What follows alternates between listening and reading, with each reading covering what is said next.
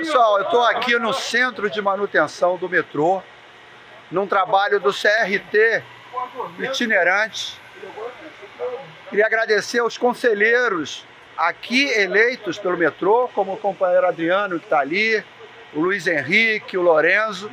Agradecer também a fidalguia da direção do metrô, porque ela possibilitou que a gente fizesse esse trabalho aqui no centro de manutenção e com alegria encontrei aqui o meu companheiro Gilson, veterano do metrô, cara.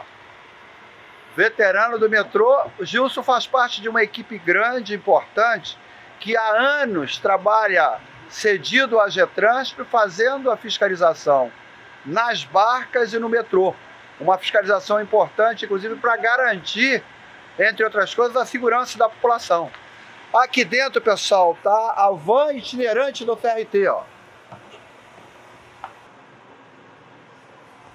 Essa foi uma das formas encontradas. O Milton Nascimento, que está fazendo o último show da sua carreira de artista, diz que o artista tem que ir aonde o povo está.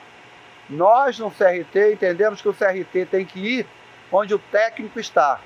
E o trabalho do CRT itinerante, amparado aí no trabalho dos conselheiros, da equipe comandada pelo meu companheiro Gilmarzinho, que está ali, ó, elegante, no meu companheiro ali motorista, essa equipe tem ajudado a levar o CRT aos locais de trabalho.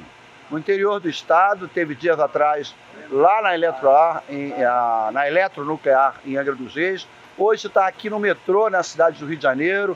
Jacaré estava me lembrando que daqui a alguns dias vai estar tá lá em Santa Cruz, na Terni.